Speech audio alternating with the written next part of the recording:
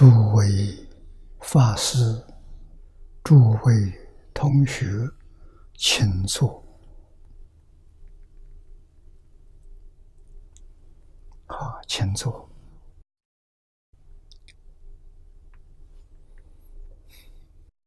请大家跟我一起皈依三宝。阿舍离存念。我弟子妙音，时从今日乃至明存，皈依佛陀、两足中尊；皈依大摩利欲中尊；皈依僧伽注中中尊。阿舍离存念，我弟子妙音，时从今日乃至明存。皈依佛陀，两足中尊；皈依大摩利欲中尊；皈依僧伽注中中尊。阿舍利成念，我弟子妙音，师从今日乃至明存，皈依佛陀，两足中尊；皈依大摩利欲中尊。皈依僧伽注中中尊，请看《大经可注》第一百七十三页倒数第三行。啊，前面呢我们学到这个地方。啊，意思还没尽。啊，我们还从这里学习这三种与菩提门相违背，必须要远离。啊，那么第一个要依智慧门。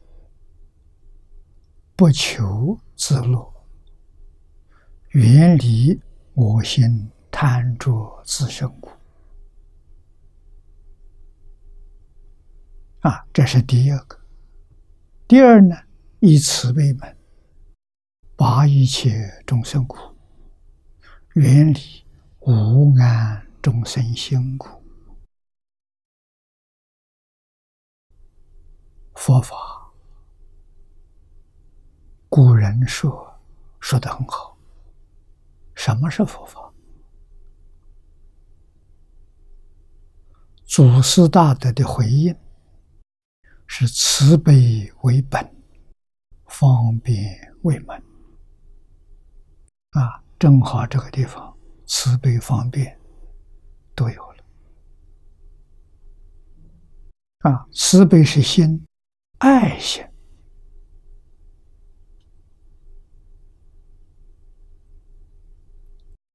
世间宗教很多，我接触的十几个宗教，读他们的经典，没有一个宗教不说爱，所以我们总结，我用四个字：仁慈博爱。啊，每一个宗教啊，都包含在其中。那宗教可不可以团结？可以，团结在哪里？团结在仁慈博爱。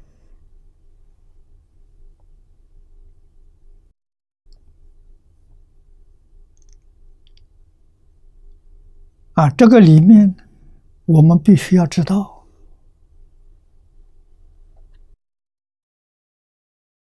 神的爱啊，《新旧约》里头，神爱世人，上帝爱世人。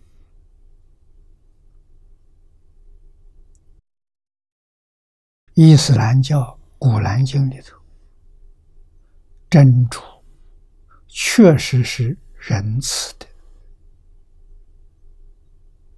啊！佛法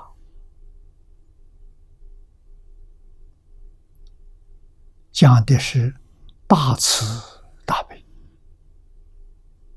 是爱。为什么不用爱讲慈悲呢？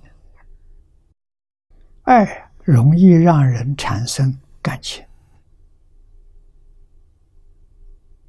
啊，就是情爱。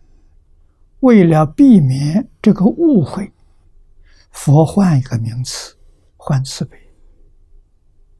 慈悲是有智慧的。啊，换一句话是，有智慧的爱心叫慈悲。啊，给世间人这种情感的爱。做一个明显的差别，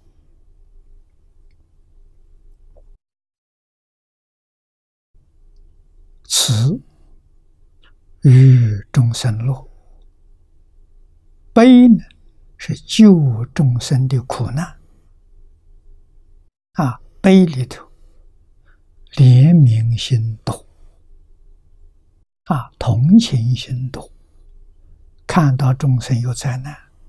一定要想方法把他的苦拔除，啊，拔除一切众生苦，于众生的安乐，啊，所以所以说远离无安众生心，对于众生的苦难漠不关心，这个不可以。的，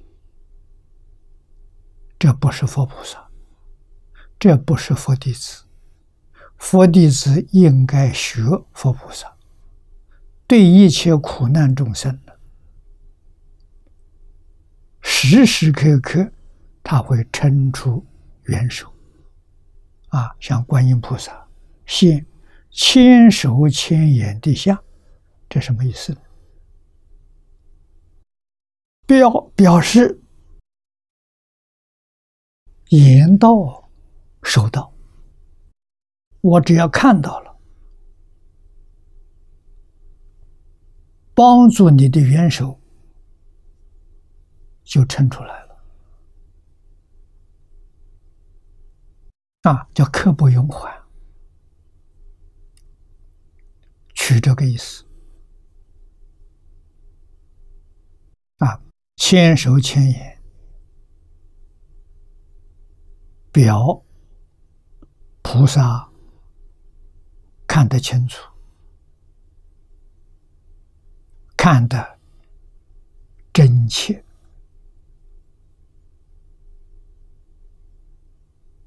啊！慈悲心从这里就显示出来了，拔苦与乐。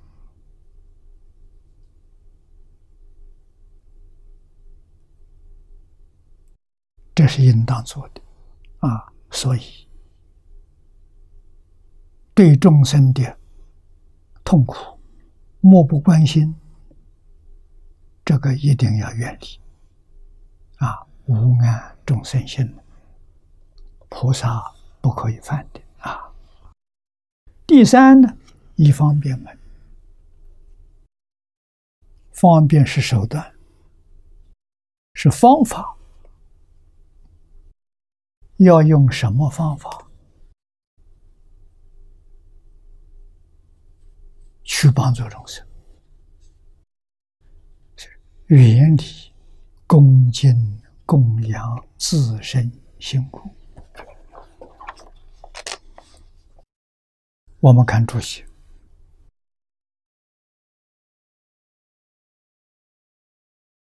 方便门怜悯。一切众生心，远离恭敬供养自身心，啊，绝不求自己身心安乐。要顾自己身心安乐，你就不能帮助别人了。啊，尤其帮助苦难众生，也是一桩非常辛苦的事情。啊，望京还原观贤首过世，给我们提出四德，《华严经》上说的。啊，《华严经》是四十一位法身大师，他们这个四德都做到了。末后一句说：“待众生苦。”一方便门呢？就是代众生苦啊！要舍己为人，在中国传统教育里头，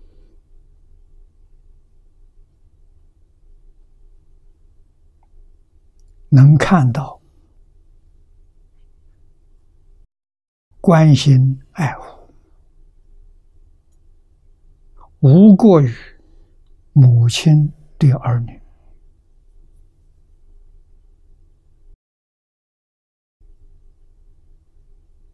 完全是付出，没有任何要求，一切都是为儿女。啊，父母做出了牺牲、奉献。在过去社会里头，有父母是圣人，特别是母亲，把儿女都教成圣贤君子。他这个付出，不但对这一家做出最大的贡献，他的儿女是圣贤君子。长大之后，对社会做出极大的贡献。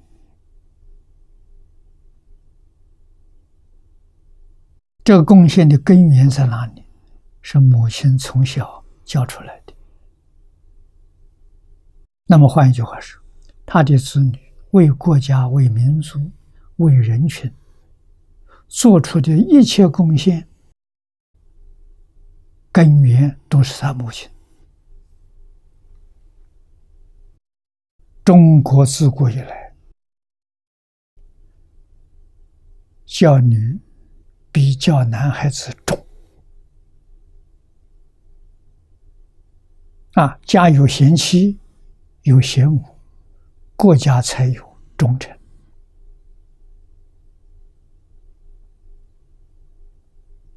啊！但是最近这个两百年，传统文化。没落了，大家把它忘记了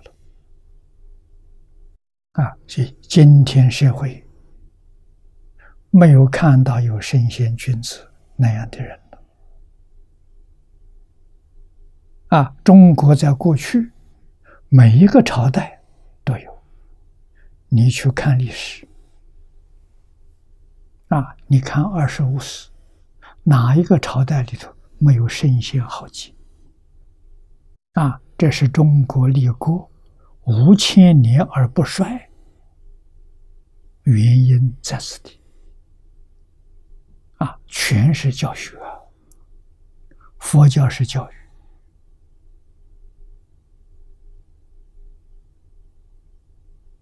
啊，中国教育里头所提到的、所想到的。佛经上全有，在境界上，佛比我们中国要高。中国教育只讲到世间，佛陀的教育讲到出世间。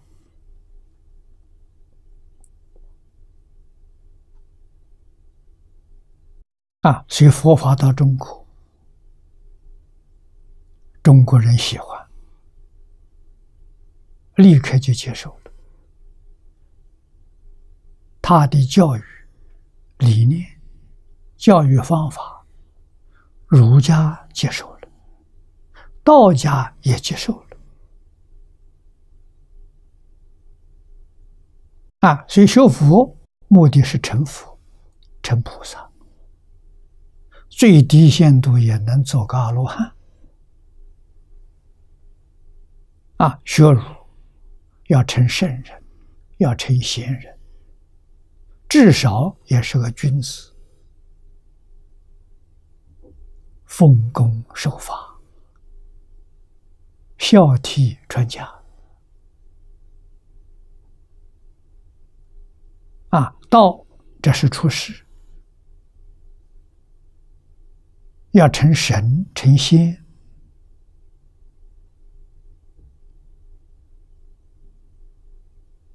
啊，神仙、佛菩萨、圣贤，都是世人的表率，都是世人的榜样，把社会教好了，把大众啊教好了。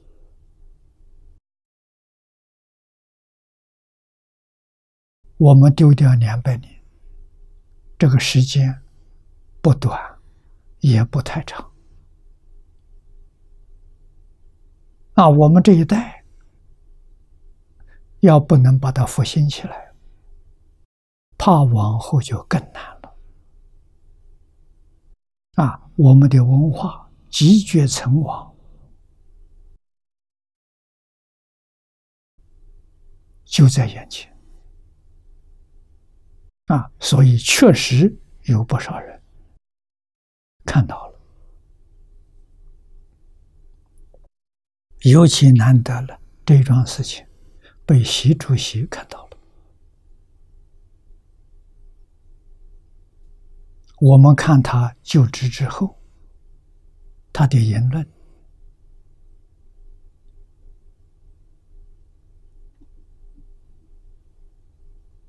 他的一些设施。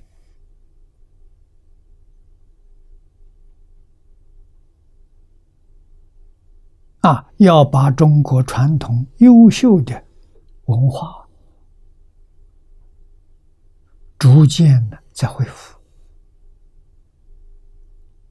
这是一桩好事情。只有中国传统文化能救国家，能救社会，能救这个地球。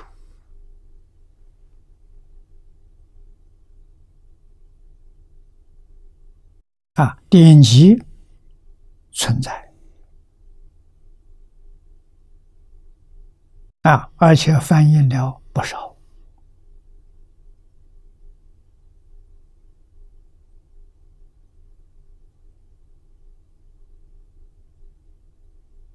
不会再流失了，啊，不会再失传了。现在迫切需要的是识字。儒释道优良的老师啊！我对老师为什么加个“优良”两个字呢？老师必须做到，然后再来教人，人家就服了，就情愿接受了。如果只是教人学，自己不学，没有人相信。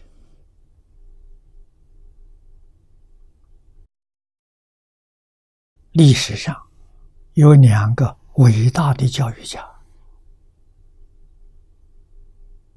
教学非常成功。啊，一个是释迦牟尼佛，一个是孔子。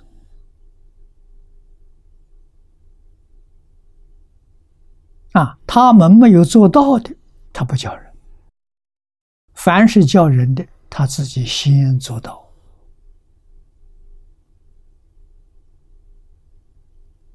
学生没有不尊敬的，没有不认真学习的。啊，孔子弟子三千，他教学只有五年。这三千弟子里面有贤人，全是君子。从哪里看出来？孔子的学生没有一个不孝顺父母的，没有一个不尊重老师的。啊，孝亲尊师，他们全做到了。啊，没有不遵守伦常道德的。啊，五伦五常、四维八德，基本上他们都能做到。孔子那个时候信，现在也信啊，不是不信啊。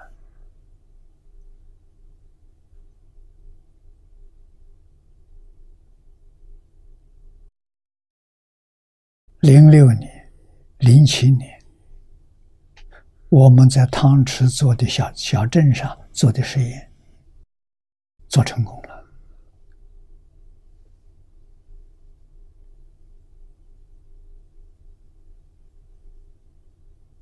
我们得出两个结果：第一个结果，我们肯定了人性本善，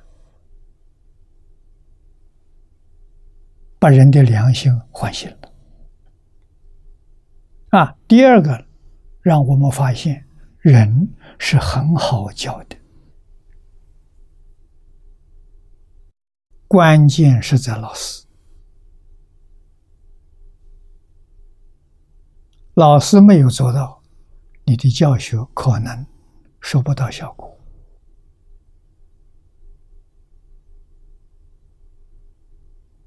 不能做得很成功。啊。老师如果真做到了，这个教学的效果会让你感到惊讶。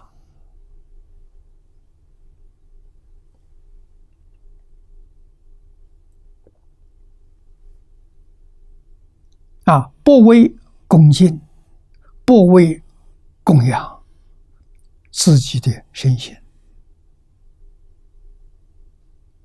这就是。无条件的付出，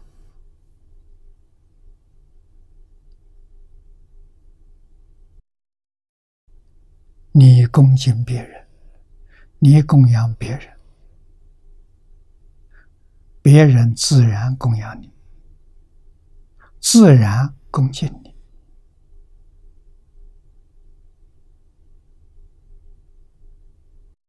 啊，你辛辛苦苦做了一辈子。到晚年，大家看到了，大家觉悟了。啊，你们看来佛寺里面三个人：海清法师、海贤和尚，还有他的妈妈。啊，妈妈年岁老了，没人照顾。还先把他接到寺庙里一起住，供养他。啊，他这个寺庙就是一句佛号，什么都没有。啊，海贤老和尚一句佛号念了九十二年，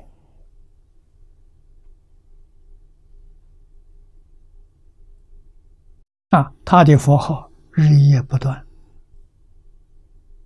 啊，睡着了就停了，醒过来就接着念。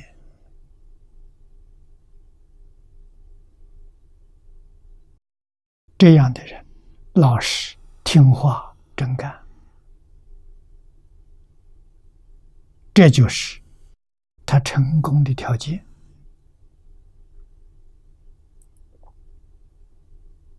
乡下人，一个农夫。不认识字啊！到晚年受多少人尊敬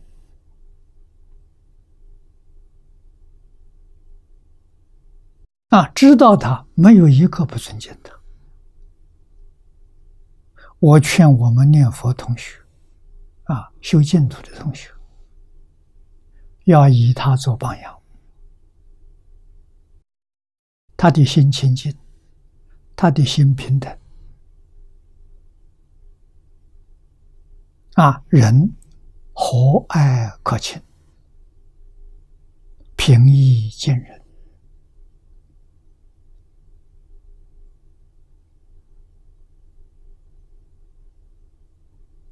啊，耕种细心。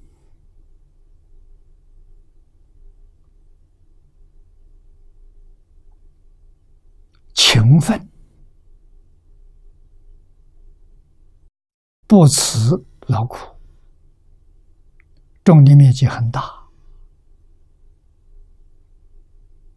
啊，庙里头平常只有四个人，吃不了那么多。啊，他将他的收成分给贫苦的人家、救济人家。照顾上千成万的人，功德不得了啊！内财布施啊！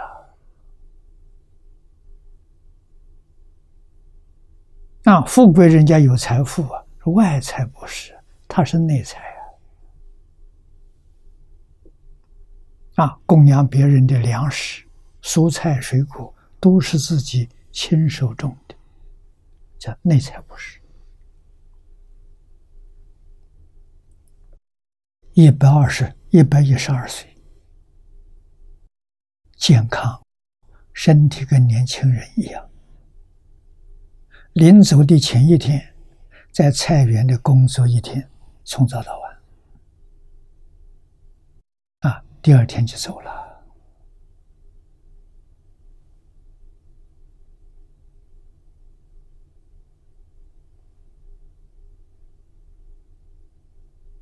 啊，比年轻人看到老人家工作辛辛苦，劝他休息。啊，他怎么说呢？他说：“我把这个做完了，我就不做了。”啊，不知道，人家把他当平常话听。他那里工作放下了，晚上念佛。就走了。第二天起来，老和尚已经往生了。啊，不过大家觉得那天晚上比较奇特，老和尚念佛从来不敲引磬，那一天晚上敲引磬，啊，敲到半夜，他房间灯还是亮的，是吧？第二天早晨就看他走了。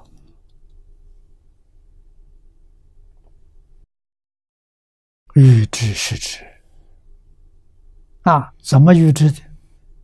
他也透了消息。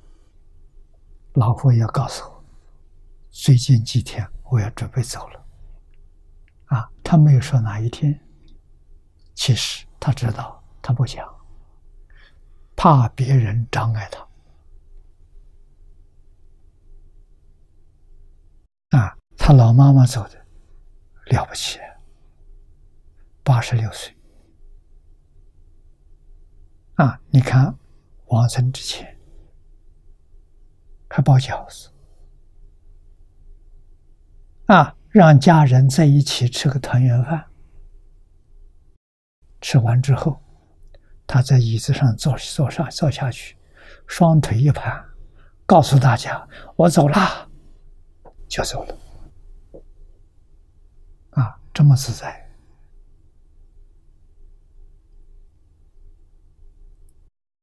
不是普通人呐！怎么修成的？一句佛号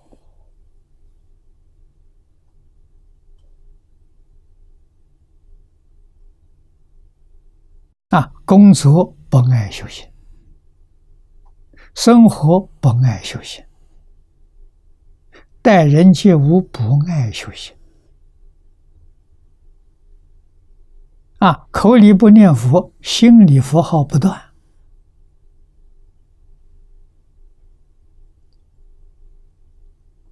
远离一切恭敬供养，啊，自给自足，这叫做远离三种菩提门相违法。那么下面是次，须知三种顺菩提门。念老的注解：顺菩提门者，菩提远离如是三种菩提门相违法。你把这三种原理啊，你就得到三种随顺菩提门法，就发现方法。第一个，无染清净心，不为自身求安乐苦。菩提是无染清净处，从哪里下手呢？从心上下手，心清净了啊，一切都清净了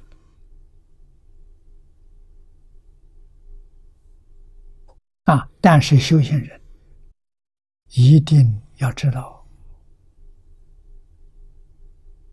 这个世界，什么都是假的，没有一样是真的，包括自己的身体，又何况身外之物？啊，真正知道，就真正放下，没有贪求、贪得的念头。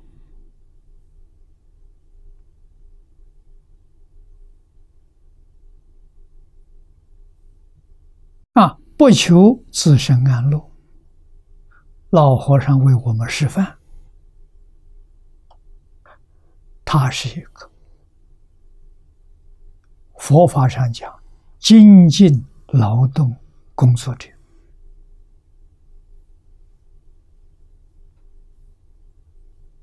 啊，他全放下了，心清净了。真诚、慈悲，对人恭敬啊！所以他住的地方，他工作的地方，都是清净处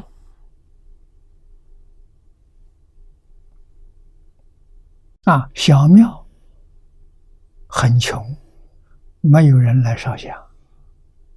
没有人来供养，全靠自己劳作，就是种田，啊，种稻米，种水果，种蔬菜，啊，全靠自己耕种啊，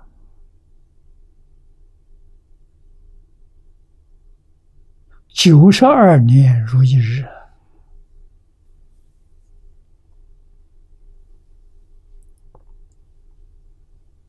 啊，修行呢，就是一句佛号，一句佛号不间断。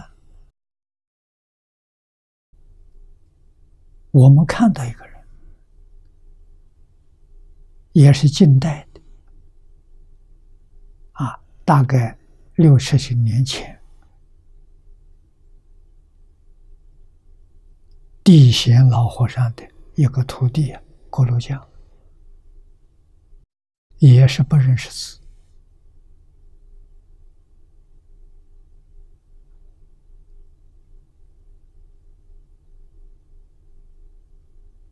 一生过着贫穷的日子，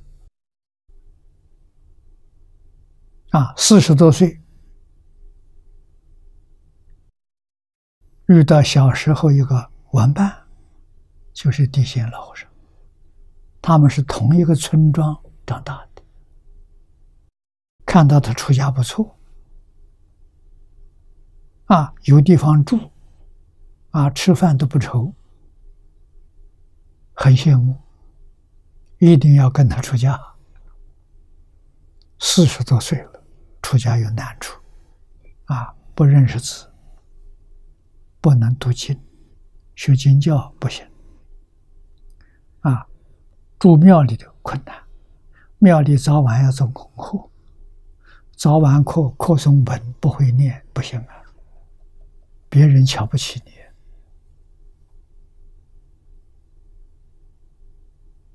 啊，他又赖着，非出家不可。老和尚给他谈条件，他全接受。他说：“你什么条件我都接受，只要你肯给我剃度。”老和尚说：“你听话，没问题，你说什么我就听什么。”啊，老和尚只教他一句“南无阿弥陀佛”。在农村里头。也找了一个小庙，没有人住的，废弃的一个小庙，叫他住在那里头。啊，就这一句佛号念到底，你尽管念下去，念累了就休息，休息好了再念，不分昼夜。他念了三年，站着往生。啊，也是预知时至。往生前一天，他从来没有三年没有离开小庙。啊，往生前一天，到城里去看看亲戚朋友。那什么慈心，他不告诉人，就没人知道的。晚上回到小庙，啊，有一个老居士老太太。给他烧两顿饭，照顾他。他告诉老太太：“明天你不要替我烧饭了。”啊，老太太以为他今天去看朋友，可能有朋友请他吃饭。啊，明天中午不要烧饭了。到第二天中午，不放心，小庙看看师傅在不在。啊，到小庙去一看。师傅往生了，站着走的。他从来没有看到人是站着死的。啊！告诉乡下学佛的同修，大家来看商量怎么办？赶紧给老和尚送信，请他来处理。就地县老和尚没有交通工具，都是走路。从乡下到到这个关中寺啊，一往一来要走三天的。他往生的，站了三天，站着往生，我们听说；往生之后站三天的没听说，大概只有他一个。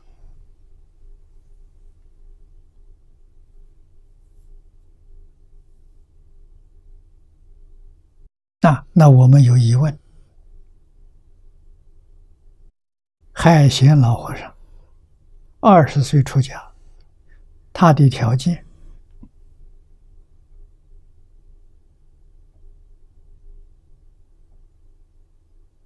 跟地仙老和尚的锅炉匠相同，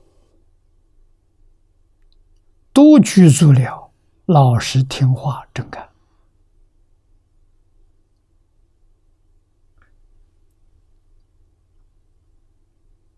他三年能不能完成？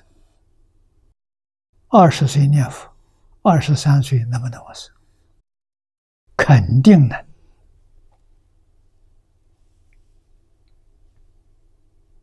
为什么不能完成？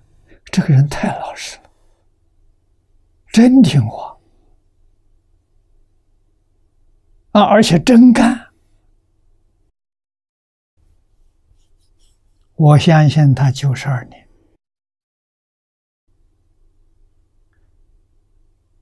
决定不止三次见佛，九十二年的啊！为什么说三次？东晋慧远大师这是净土宗第一代的祖师啊，他一生当中三次见阿弥陀佛，见到极乐世界。第四次见到，他跟人说，他们那三次没跟人说过，没有人知道。啊，第四次佛来接引他往生，他才把这个信息告诉大家。别人问极乐世界什么样子，跟《无量寿经》上所说的完全一样。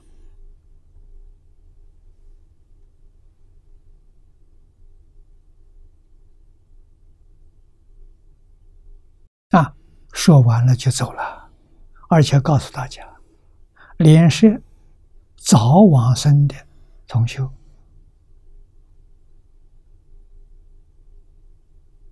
有十几个人比他先往生的，通通在阿弥陀佛的身边一起来接引他。啊，他每个人名字都叫得出来，不是假的。所以老和尚常常劝人的，只有念佛求生净土是真的。他那个话说的那么恳切。一丝毫疑惑都没有，为什么？他见到了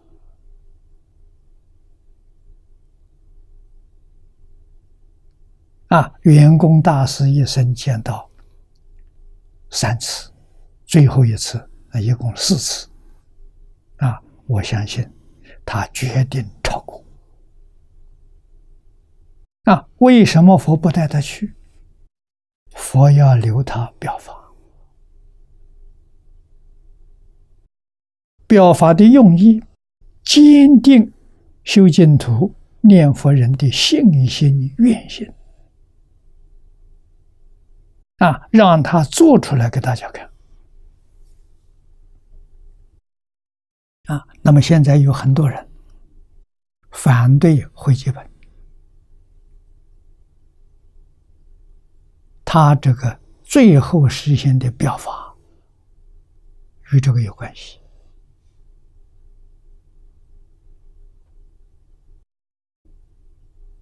与我们依这个本子修，通通有关系。啊，他不知道有这本书。若要佛法心，唯有生战胜。他并不知道。啊，往生前三天，他的弟子带着这本书。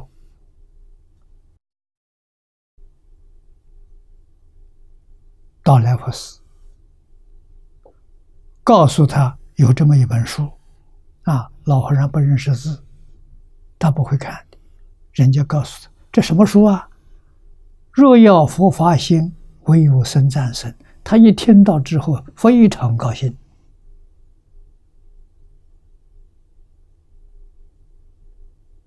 如获至宝，啊，好像盼望多少年。哎呀，终于出现了，高兴的不得了！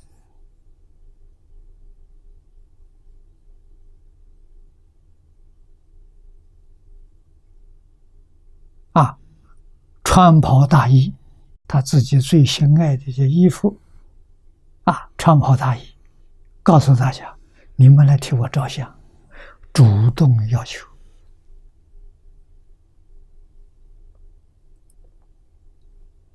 啊，哪里晓得这个照片照完之后，第三天老和尚就往生了。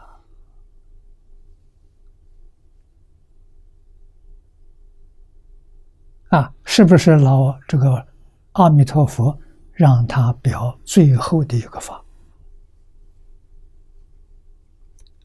他心里清楚明白，真的一点不假。啊，这个表法就是肯定下莲居老居士的会记本是真的，没有问题。肯定黄念老居士的集注是真的，也肯定我们这十几年以这一部经啊黄年老注解来学习没有错啊，经可以放心了，来替我们解决这个问题啊。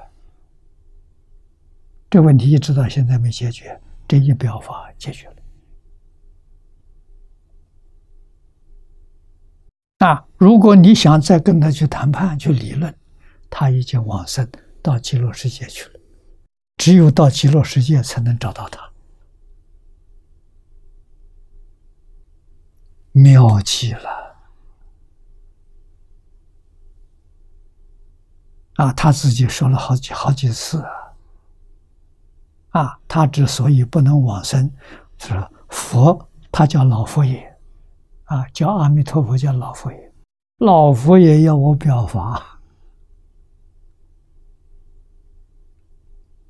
啊，表十善的法，表三归五戒的法，表六波罗蜜的法，啊，实际那都是一般人想的，真正表法就是最后表这个，肯定若要佛法心，唯有生战生。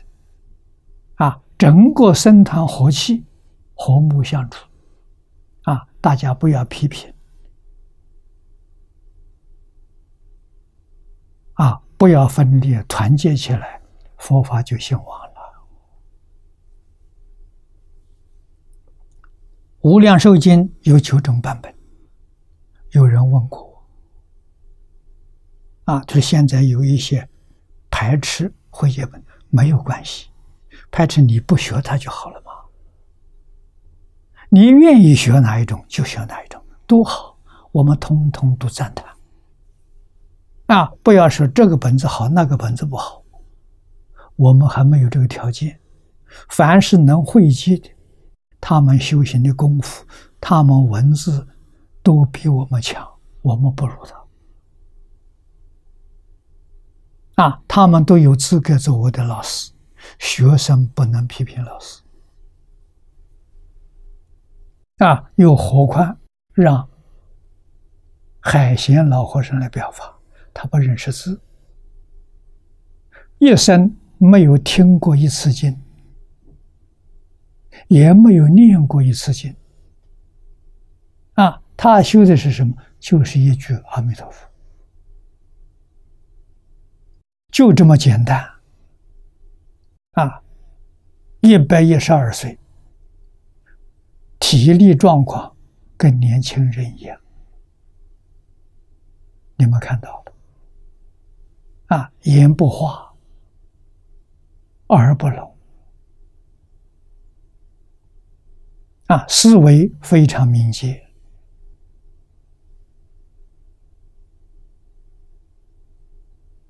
啊，九十二岁还怕上树。有两个镜头，一个是修理树枝，一个是上树折柿子。啊，爬到树顶折了一箩筐柿子，拿下来分给大家吃。谁能做得到？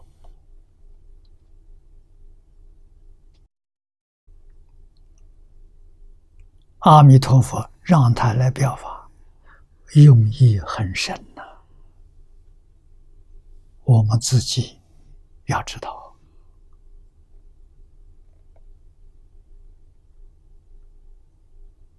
啊，佛法兴，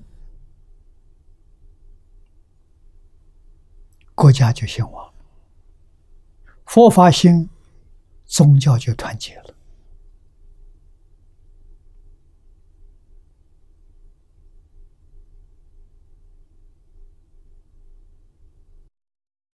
过去我访问日本，我先后访问日本七次，好像是第三次，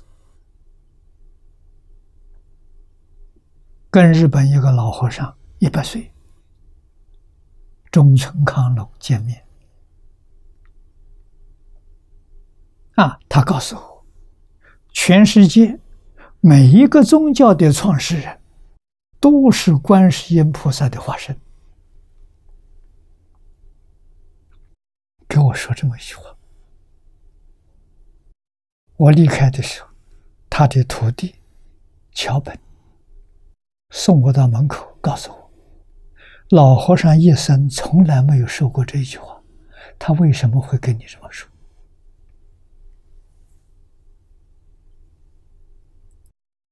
我们这十几年都在做团结宗教的工作，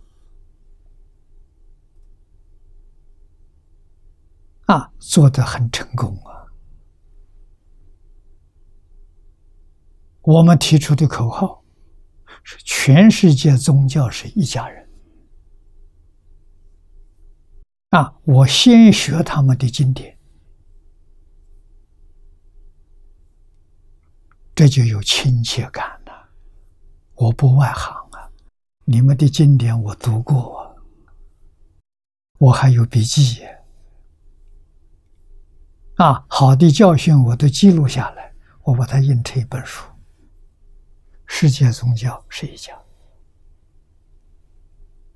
啊，每一个宗教经典都是叫我们做好人，没有叫我们做恶的啊。每一个宗教创始人都叫你爱人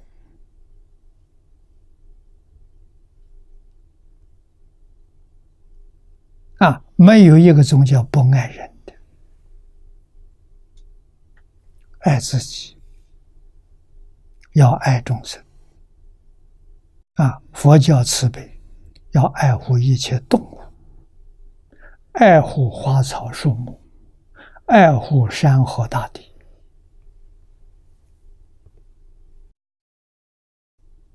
慈悲到基础。啊，所以要记住，菩提心是什么？就是经体上清净平等觉啊！你看这里，菩提心是无染清净心，心净则国土净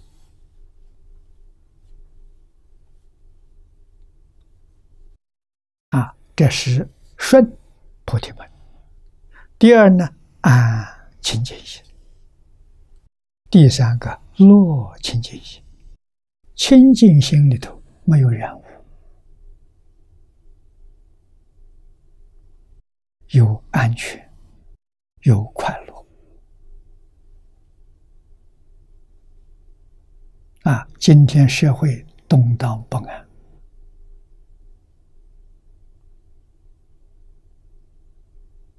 发菩提心就安了。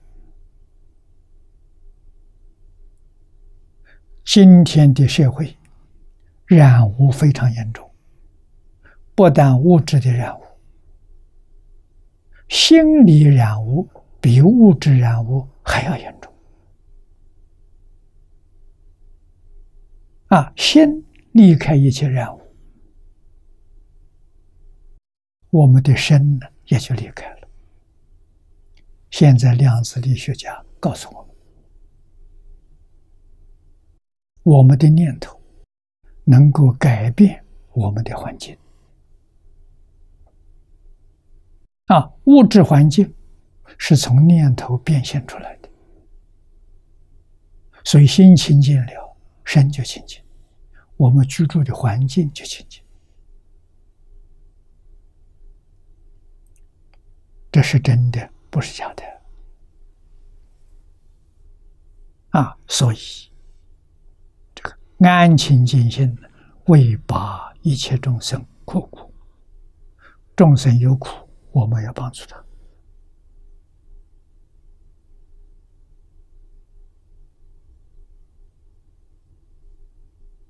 啊，海贤老和尚做到了，这三种都做到了。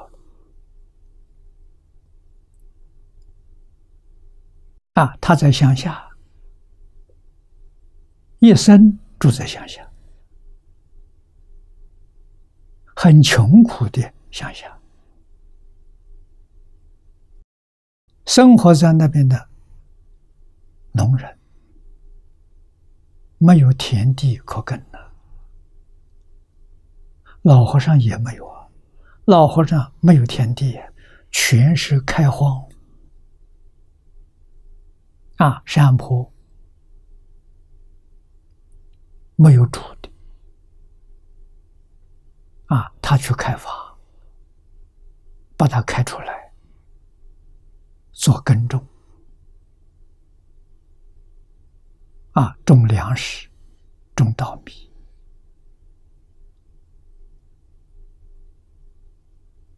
我们都看到镜头。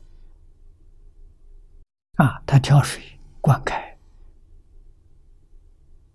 确实很辛苦啊。如果为自给自足，开一个小的几亩够了。啊，小庙只有五个人，四个人，五亩地就够了。为什么开一百多亩？看到农村，农村的年轻人出去了，到外面打工去了，老弱妇女在家里，生活非常困难。啊，他凭着他这个。就救济他们，帮助他们，这是慈悲心，为拔一切众生苦，他做出来了。啊，乐清净心，为令一切众生得大菩提，生彼国土，这真路。这个世界没有真正的路，极乐世界真路。啊，我们看念老的书籍，解第三三者，乐清净心，欲令一切众生得大菩提果。啊，大菩提是什么？就是自己的真心，自己的本心，这叫大菩提。得大菩提的人就成佛了。成什么样的佛？阿弥陀佛。你天天念阿弥陀佛，你成佛肯定是阿弥陀佛。啊，到极乐世界就见到阿弥陀佛。啊，阿弥陀佛为你讲经说法，你得到阿弥陀佛四十八愿。威神的加持，不但完全能听得懂、记得住，你智慧开了，你把阿弥陀佛的教诲变成你的生活，变成你的思想，啊，变成你。上求化他，真实功德了啊！向上求佛道，到极乐世界就有本事啊，有本事能够分身，分多少身？无量无边啊！《西游记》孙悟空不行。他只有七十二变的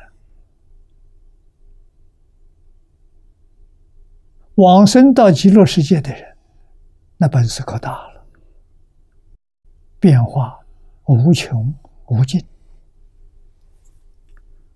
设方有多少插图，有多少诸佛如来，他就现多少身。同一个时间。他能够变到一切诸佛刹土去拜佛、去供养、修复啊，听佛讲经说法了，是求智慧，佛慧双修。啊，在一个时间里面，他就得到圆满。天天圆满，时时圆满，在极乐世界成佛，所以时间非常快。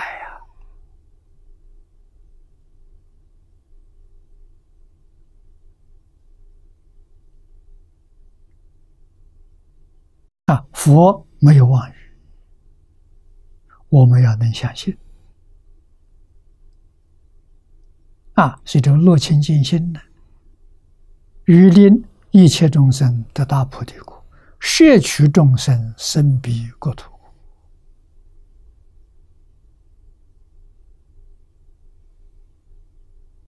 摄是摄受，取就是带他，啊，带着他一起到西方极乐世界。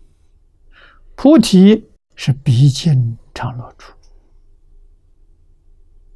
菩提翻的中国意思是觉悟，真正觉悟，圆满的觉悟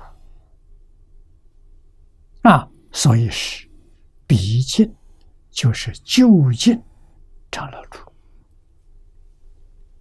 离苦要离究竟苦，究竟苦是。六道轮回啊，真苦啊！啊，离开六道轮回，叫离究竟苦。啊，往生西方极乐世界，得究竟乐，离苦得乐。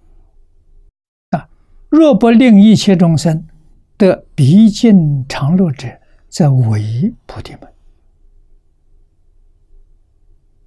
你跟菩提相违背，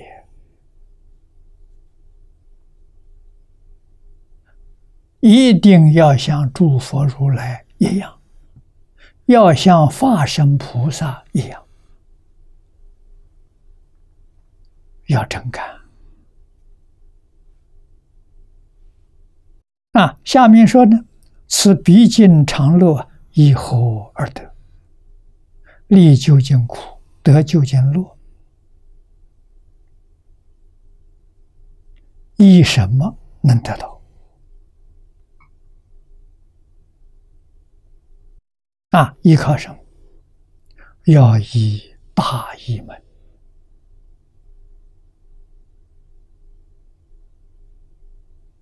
大义门者，未必安乐国土是也。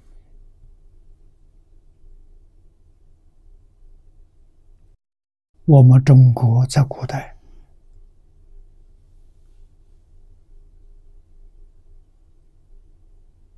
有不少朝代都有过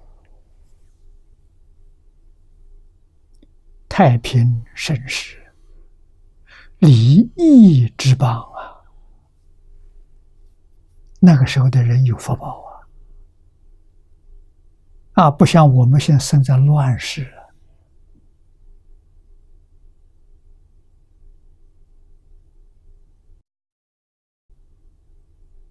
动乱的严重。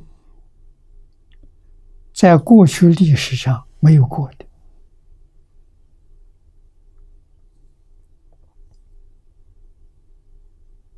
啊，中国历史、外国历史从来没有过像现在这么混乱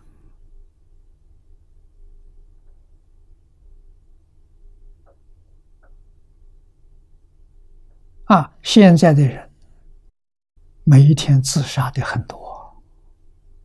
他为什么自杀？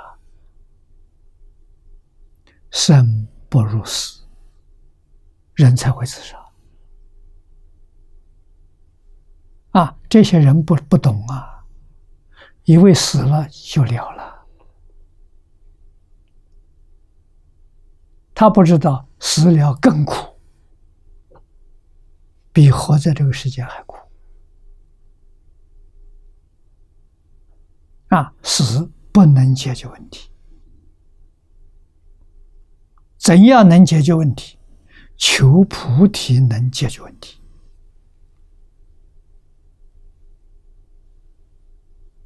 啊，换一句话说，学佛能解决问题。学中国传统文化能解决问题，学佛能解决根本问题，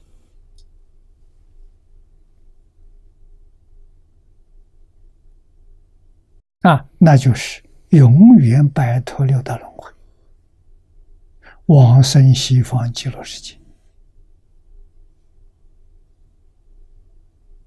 啊，极乐世界是全宇宙里面仁义之宝，所以称为大义门呐。啊，礼义之宝啊，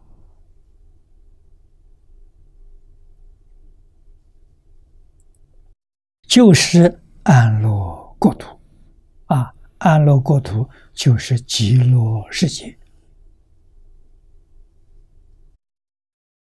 阿弥陀佛发大慈悲心，用无界时间去修行，成就了极乐世界。啊，这个到后面经文，我们通通都学得到。啊，看看阿弥陀佛怎样建造极乐世界？啊，现在这个世界建成功了，真的度无量无边众生。啊，每一天往生极乐世界的人不计其数啊！啊，极乐世界能容得下吗？难。为什么他是发信徒？他跟我们这不一样。我们这边地球有大小，现在地球上的人口要到饱和点了，再多容纳不下了，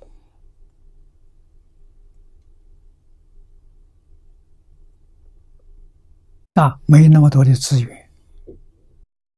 极乐世界资源丰富，没有大小，再多都能容得下，不会显得拥挤。这发现的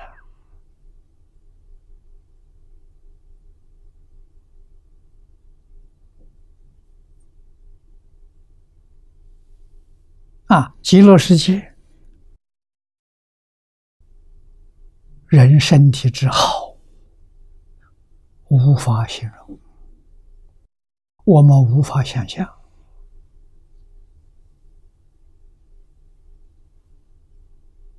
啊，这个地球，古印度人说人相貌长得好，三十二相，八十种好。印度人说啊，极乐世界。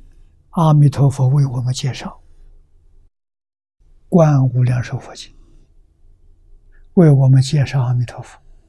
阿弥陀佛有八万四千相，不是三十二了，八万四千相，每一个相有八万四千随行好。每一个好，放八万四千光明，每一道光明里面，都看到佛菩萨在讲经教学，弘法利生。从一个身体里面看到全宇宙啊！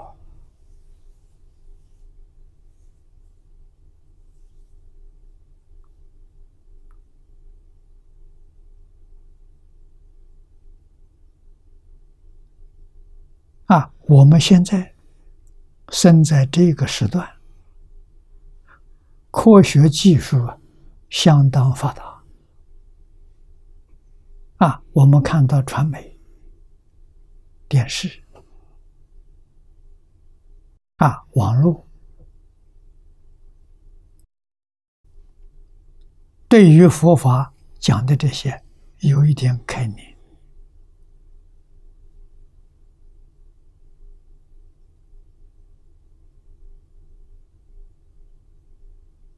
七十年前，世界上没有这个东西啊！啊，古人为什么看到佛经能相信，不怀疑？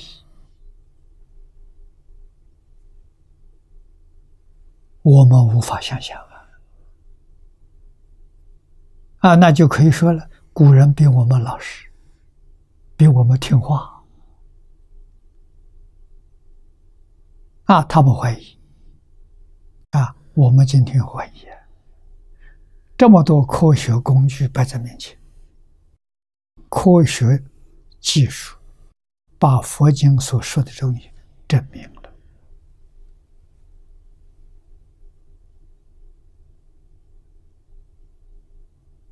啊，那我们想想，我们有能力在此地。对全世界人民说话吗？做得到。现在有电视，啊，现在电视的进步，不但他看到我们，我们可以看到他。啊，他在美国，他在欧洲，我们可以面对面谈话。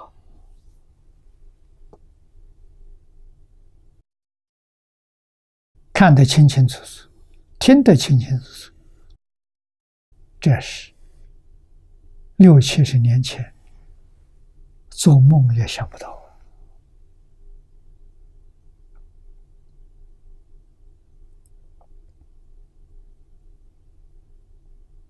啊！那么西方极乐世界要不要这工具？不要。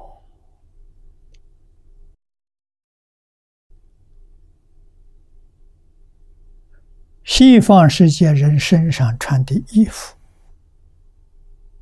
都能现象啊！你看世尊给我们说的，身有八万四千相，每一个相有八万四千随心好，每一个好里面放八万四千光，每一道光里面有变法界、虚空界诸佛如来。讲经教学的活动，全看到了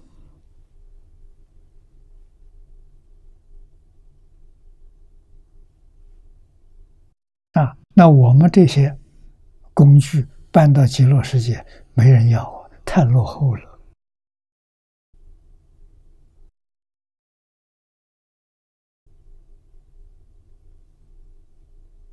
啊！到极乐世界看到十方众生是。立体的，不是一个平面画面。啊，你给他说话，他听见了，啊，可以对话。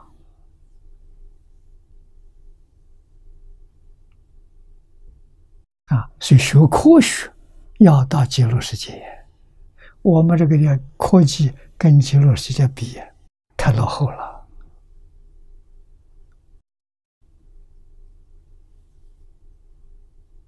啊，我们要到国外去，啊，还要乘飞机，多麻烦呐！啊，到极乐世界，想到哪里去，念头动，身体就到了。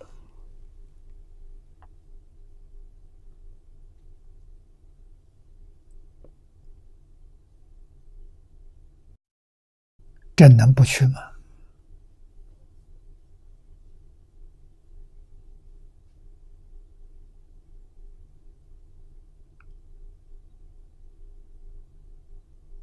啊，所以我们一定要晓得，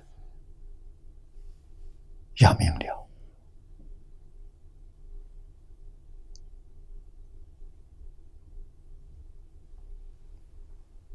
啊，不能不去。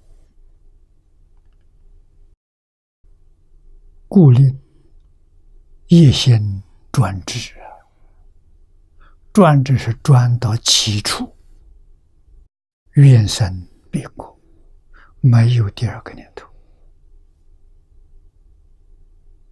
我就是想生到极乐世界，于是早会无上菩提。啊，这个会是得到，是欺辱。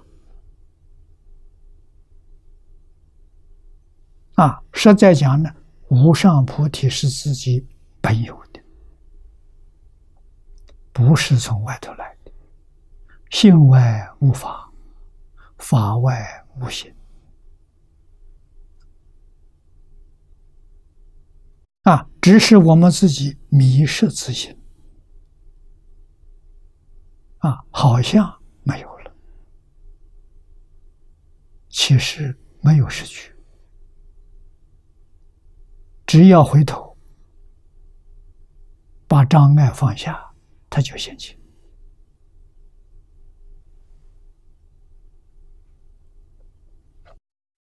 啊，那么这三种顺菩提门的。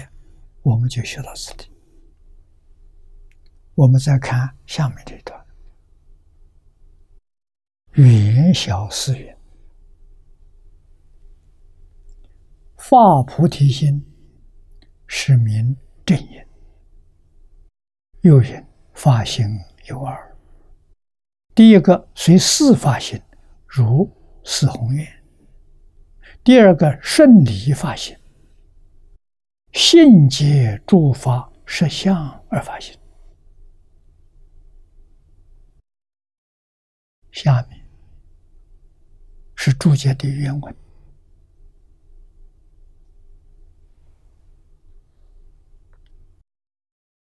啊，前面这个黑体字是我第一次。依照这个注解讲《无量寿经》，啊，就是净土大经节演义概要里头啊，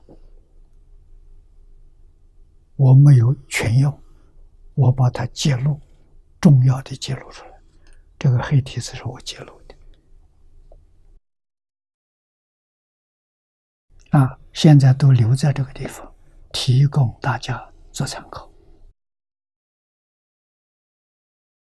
我们看念老的原文：“又东海元小寺宗耀云啊，中药是法师无量寿经的注解啊，海东。”就是现在的韩国，元小法师，韩国人，唐朝时候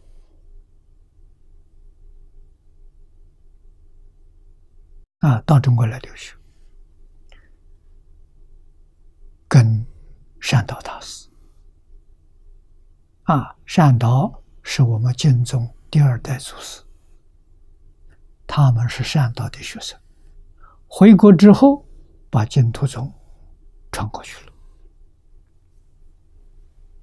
啊，那么他《无量寿经》注解里头说：“发菩提心是名正因，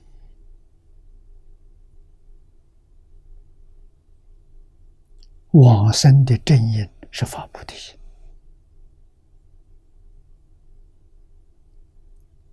这个可别忘记啊。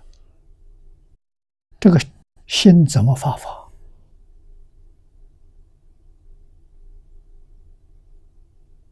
真心、真愿啊！对西方极乐世界，决定没有丝毫怀疑啊！佛的话、祖师的话，信得过，这基本条件。啊，决定不怀疑。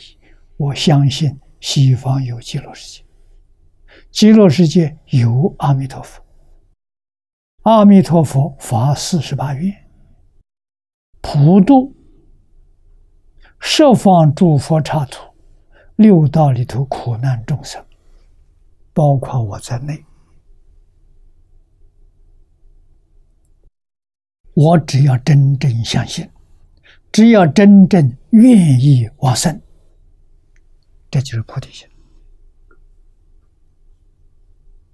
啊，我们往生极乐世界正因就有了。啊，决定不能怀疑，怀疑正因就有了问题了，就不能往生。啊，那下面又说发菩提心有两种，一种是随事，一种是顺理。啊，随事，烦恼无边，愿悉断之。悉是全部，断得干干净净。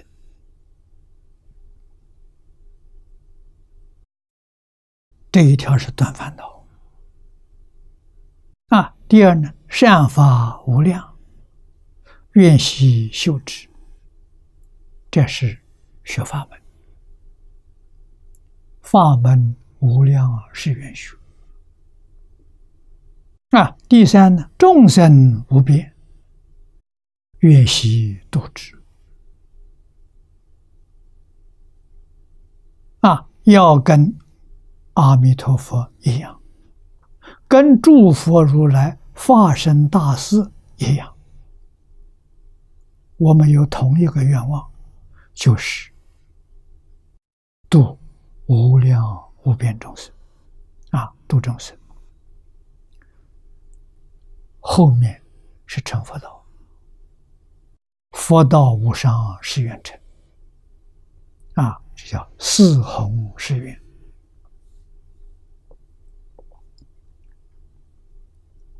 设方三世，一切诸佛如来，在因地没有成佛之前，像我们现在这种身份，没有一个不发这个大愿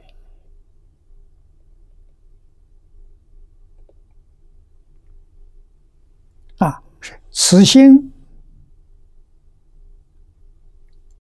果报。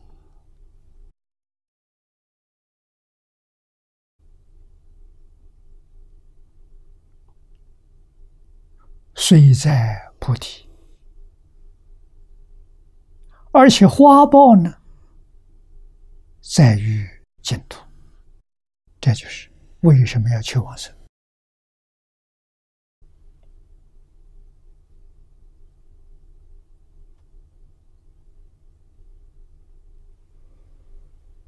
如果不求往生，全靠自己。烦恼到什么时候你才能断得了？法门要到什么时候你才能学得完？真的，无量劫再加上无量劫，未必能成的。这个法门是捷径，是快速通道。没有障碍，只要你相信。为什么？阿弥陀佛帮助你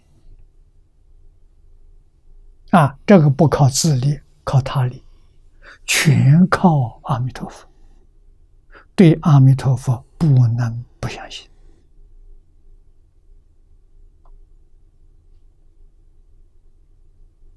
啊！一切众生。这一生当中，能遇到这个法门，能听到无量寿经，听到能信，信了肯发愿，一生决定得生，生到极乐世界是花宝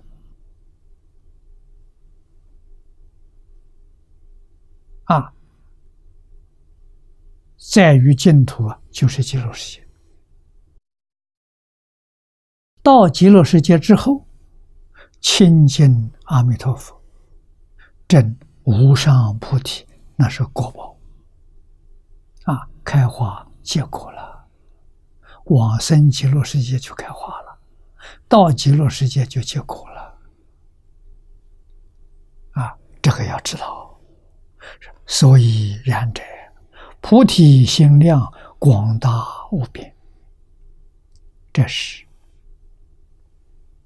超越空间。长远无限的超越世间，它没有障碍。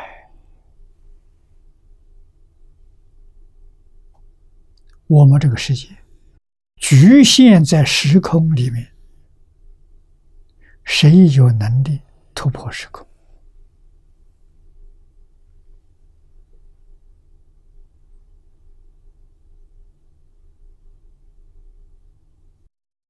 念佛人能突破时空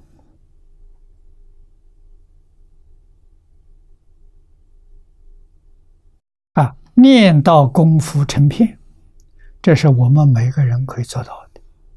什么叫成片？心里头只有阿弥陀佛，除阿弥陀佛之外，其他东西都清除掉了，都摆脱掉了，这叫功夫成片。啊，心里头只装阿弥陀佛，没有妄想，没有杂念，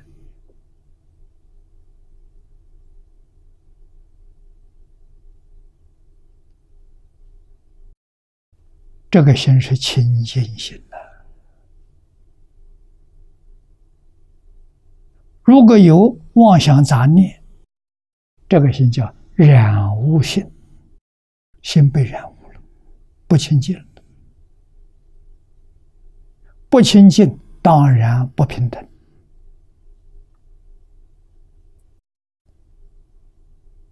啊！这是六道凡夫的妄心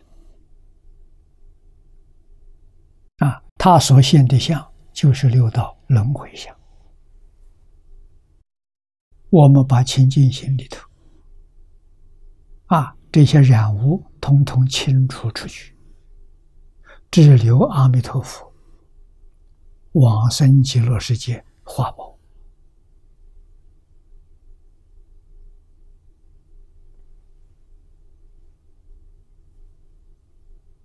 啊！所以清净菩提心，能感得了广大无际。一报净土，长远无量正报寿命，这就说明为什么极乐世界那么大啊，大到我们不能想象。十方世界去众生都能够容得下，没有拥挤的感觉。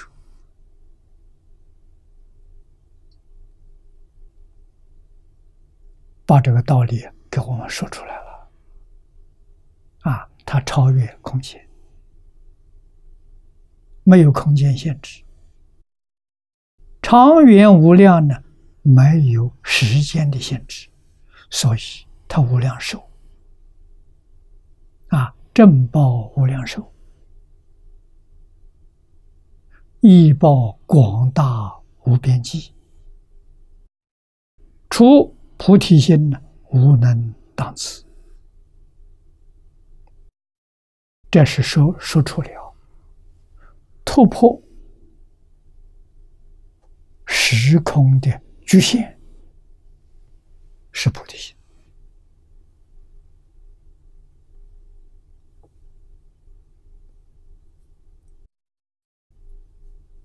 啊！唯有菩提心是真心。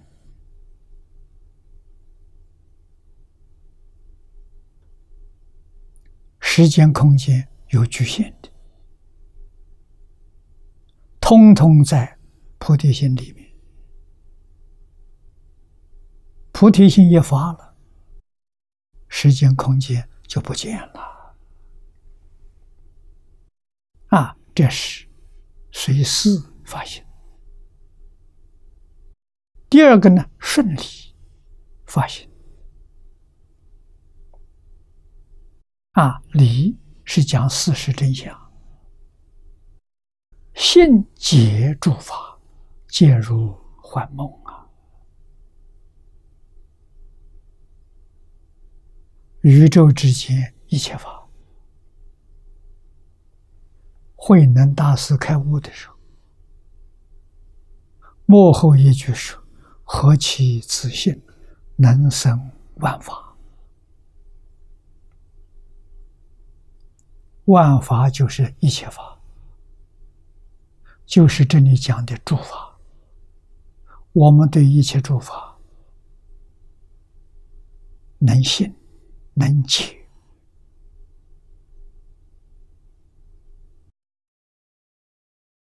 这是真实智慧啊！啊，这些诸法是怎么回事？情？皆如梦幻，《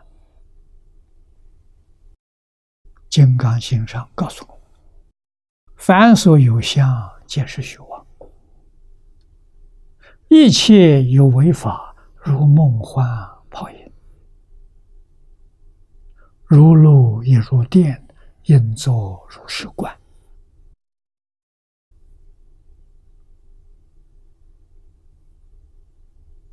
啊，有为。就是有生有灭，我们现在所看到的动物有生老病死，植物有生住异灭，矿物有成住坏空。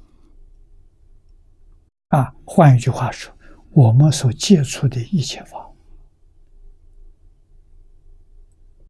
都是假的，都不是真的。啊。就像幻梦一样，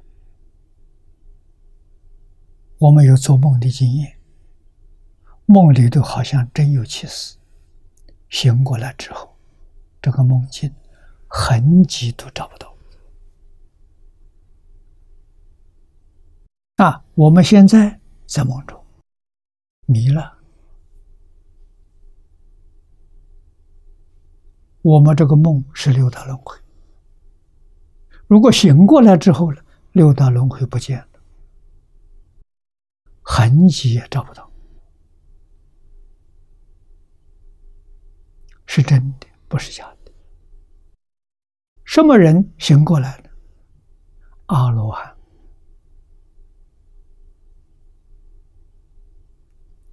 阿罗汉把清净心恢复了，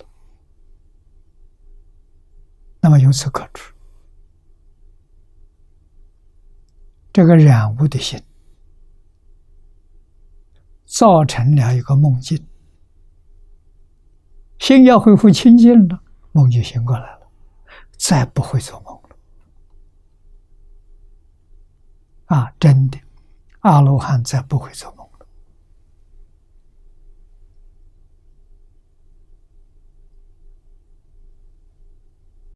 阿罗汉需不需要睡眠？不需要了。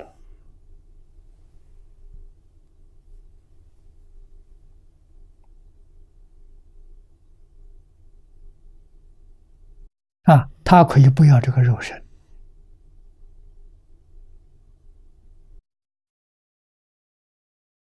啊，肉身是个累赘，肉身不是我，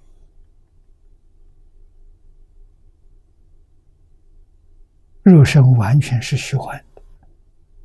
今天量子力学家把这桩事情搞清楚、搞明白了，跟佛所说的。一样，证明大乘佛法里头有高等科学，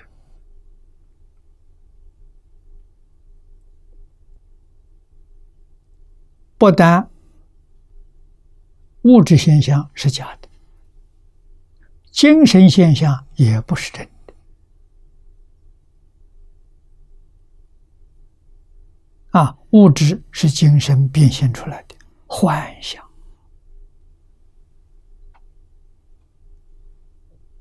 啊精神现象就是思想念头从哪来？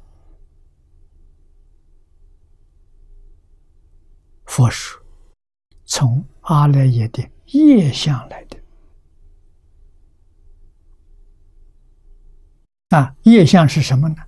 现在科学家说自然现象波动的现象。啊，大乘教里头叫它做业相，阿赖耶的业相，起心动念，阿赖耶的转向。啊，物质是阿赖耶的境界相。佛法分三个，科学也分三个。啊，这三个全部是真的，你要把它当真就错了。它是什么？非有非无，你不能说它有，也不能说它无。做梦，梦里清清楚楚有啊，醒过来之后就没有了，真找不到啊。啊，所以所有的现象是非有非无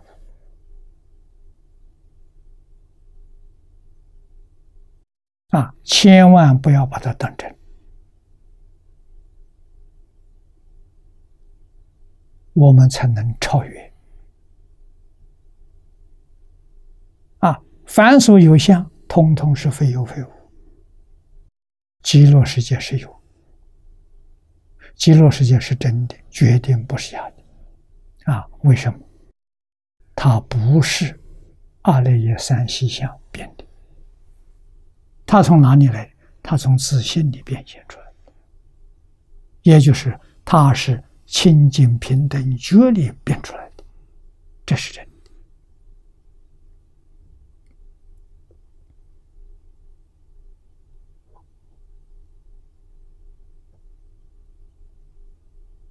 啊。绝言绝律，绝言言语说不出，律师思维，你的心想不出来，想不到，啊，第六意识、第七识缘不到，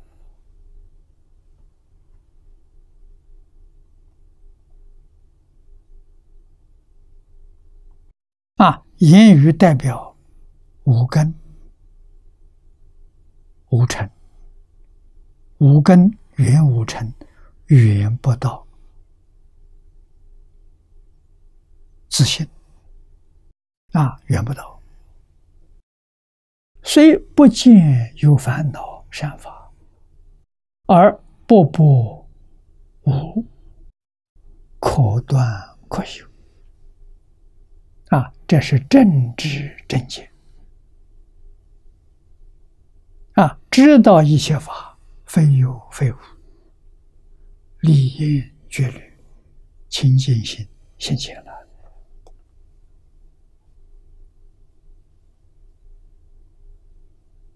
虑就是思虑啊，就是我们今天讲的妄想杂念，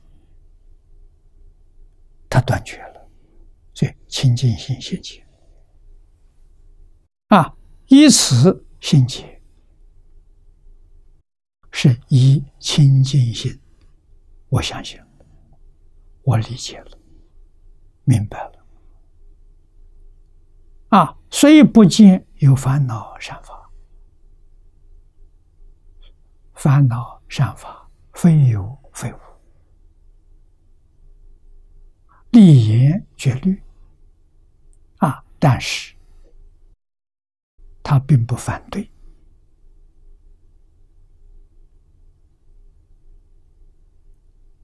有烦恼可断，有菩提道可修，这就很可爱！你看，不破无就是不排除，不者排也，无者除也。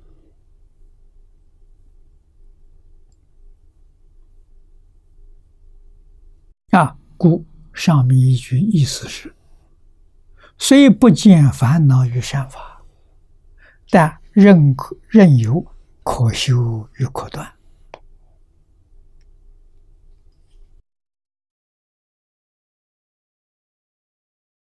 啊，那我们看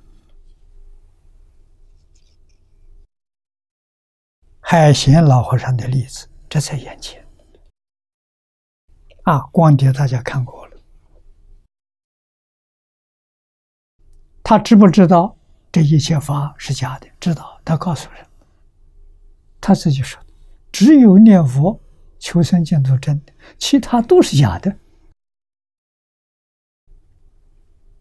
啊，你看他天天念佛，佛号不间断，这就是有可修，什么都不放在心上，可断。啊，任有可修可断啊，这叫佛法在世间，不离世间法。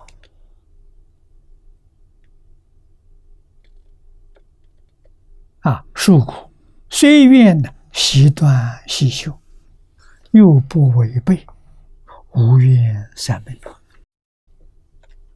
啊，跟无愿三昧相应了。无愿三昧是什么？就是大三空三昧。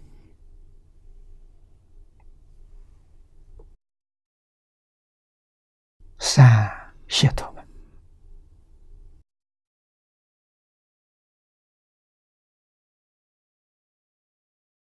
空无相无作，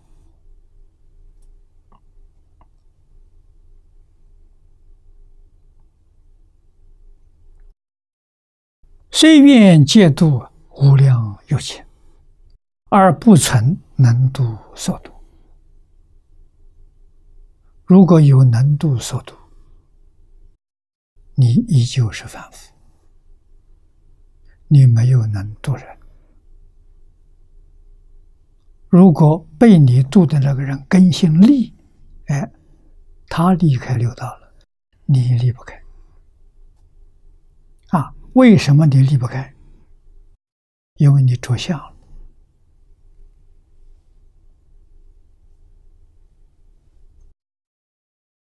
着相就离不开呀！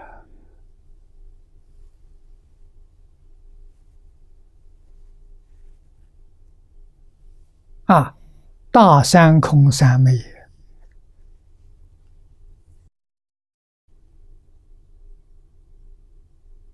三昧就是禅定，三昧就是一心不乱。就是一心的啊，度无量无边众生，没度，一个也没度，度了没有？真度了，度众生，心上不放度众生的痕迹啊，心地清净，一尘不染。如果有个度众生的念头，这个念头把清净心染污了，清净心被染污了，你是六道凡夫，你不是阿罗汉。啊，阿罗汉做再多的好事，不着相，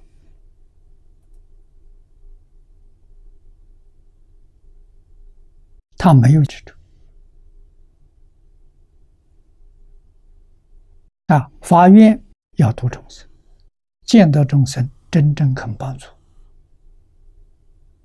但是清净心里头痕迹都没有，故能随顺于空无相。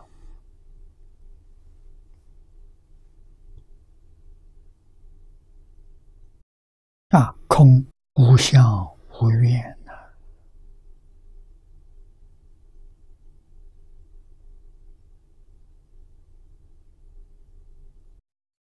无愿是心里头没有起心动念，有起心动念错了啊！啊，哪些人起心动念度众生呢？全教菩萨他通通着相，他没有办法进行，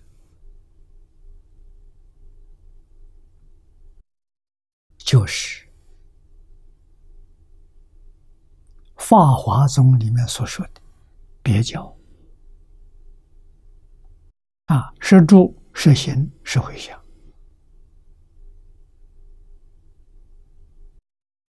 他没有得三解脱门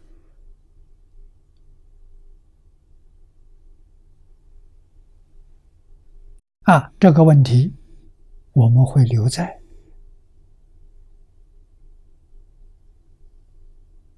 学习大境界这里面呢来讨论，来细说。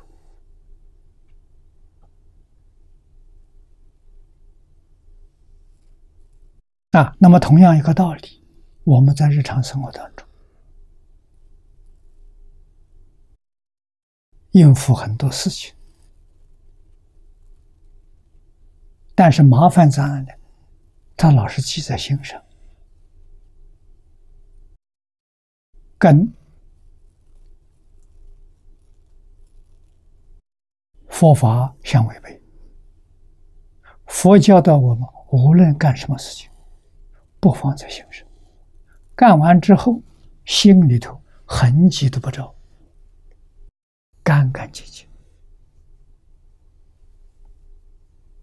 啊，这是佛做的，做而无作，无作而作。啊，就是《金刚经》上讲的“无住生心”。啊，生心是做。虽然做，心里头没有丝毫影响，没有丝毫分别之处。不但没有分别之处，连起心动念都没有，那就是法身菩萨。有起心动念，没有分别之处，全叫菩萨。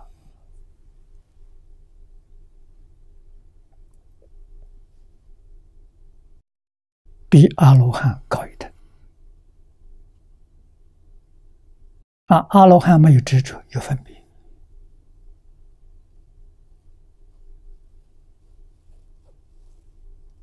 啊！这就是一层比一层境界不相同啊！啊，如经言，如是灭度无量众生。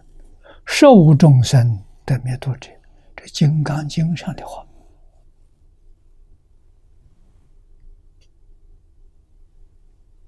啊，如是像上面讲的，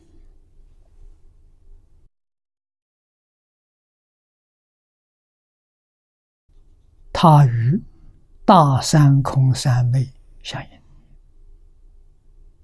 啊。换一句话说，他与我们。这部经的经题里面所说的清净平等觉相应，这个说法更贴切了。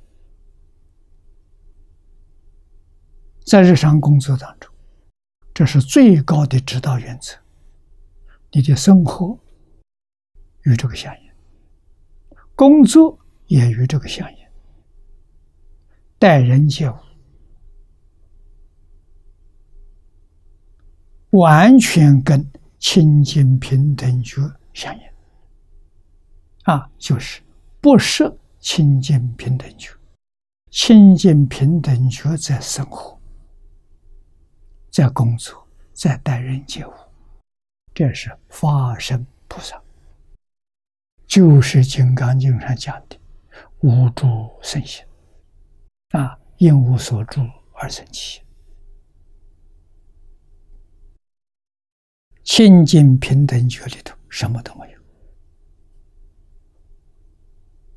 啊！身心是生智慧，把每一桩事情都办得非常恰恰当，办得非常圆满，心里头痕迹都不落，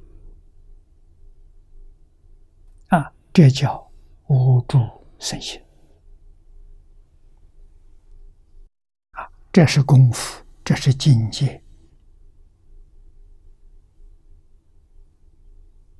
啊，所以《金刚经》说：“灭度一切众无量众生，十无众生得灭度者。”你们看看，清净平等觉在现前呢。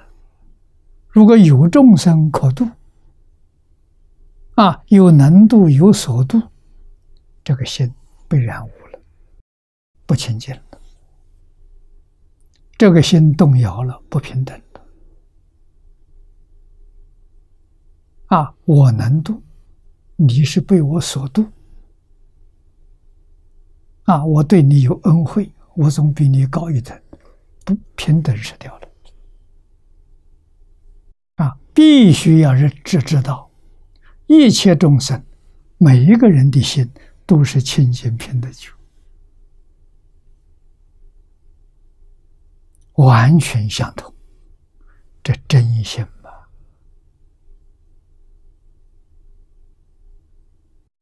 慧能大师说的太好。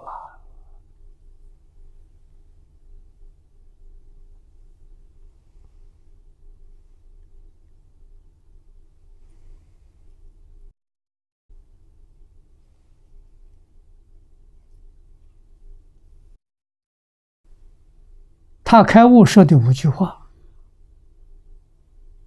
就说的这个事情啊。自信是清净，就是此地讲清净品的觉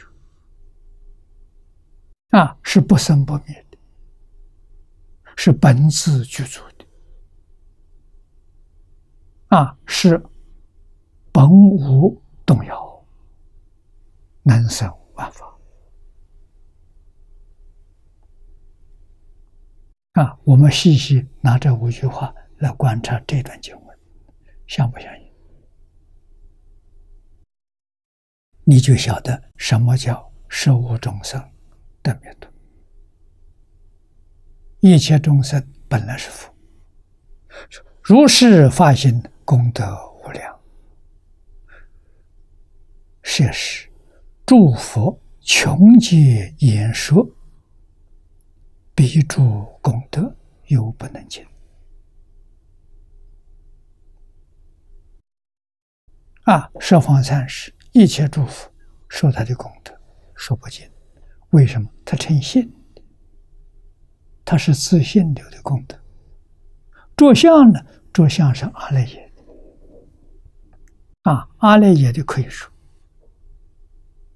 能说啊，跟自信相应的不能说，说不出来。